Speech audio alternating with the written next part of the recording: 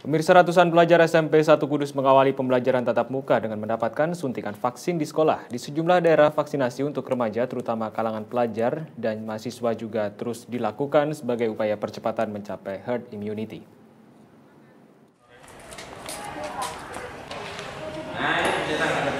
Di SMP Negeri 1 Kudus, pembelajaran tatap muka terbatas disambut dengan pelaksanaan vaksinasi yang digelar oleh Dinas Kesehatan. Vaksinasi ke sekolah merupakan upaya percepatan vaksinasi anak dan remaja menyambut pembelajaran tatap muka. Ada 266 dosis vaksin disiapkan bagi pelajar di SMP 1 Kudus. Rencana vaksinasi ke sekolah ini akan dilakukan secara bergantian ke sekolah yang lain.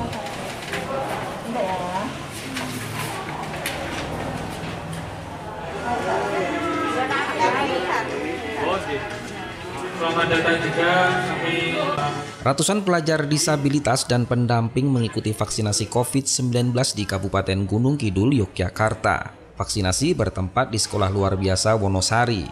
Ada 350 pelajar disabilitas bersama dengan pendamping masing-masing mulai mendapatkan suntikan vaksin COVID-19 Sinovac. Vaksinasi pertama untuk pelajar disabilitas di Gunung Kidul ini sebagai salah satu syarat digelarnya pembelajaran tatap muka Bupati Gunung Kidul Sunaryanta yang meninjau pelaksanaan vaksinasi mengatakan total akan ada 3.000 penyandang disabilitas di Gunung Kidul yang akan mendapatkan suntikan vaksin.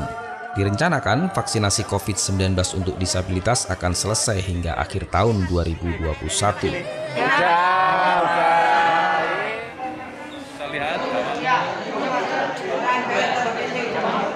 100 siswa Akademi Sepak Bola Tugu Muda Asti Kudus menjalani vaksinasi tahap pertama di mes tinggal para siswa. Direktur Utama Asti Kudus Arif Budianto mengatakan vaksinasi ini bentuk turut serta menyukseskan program vaksinasi bagi anak-anak dan remaja. Selain itu merupakan persiapan pembelajaran tatap muka di lingkungan sekolah serta persiapan siswa mengikuti sejumlah liga maupun kompetisi yang akan digelar di Bali.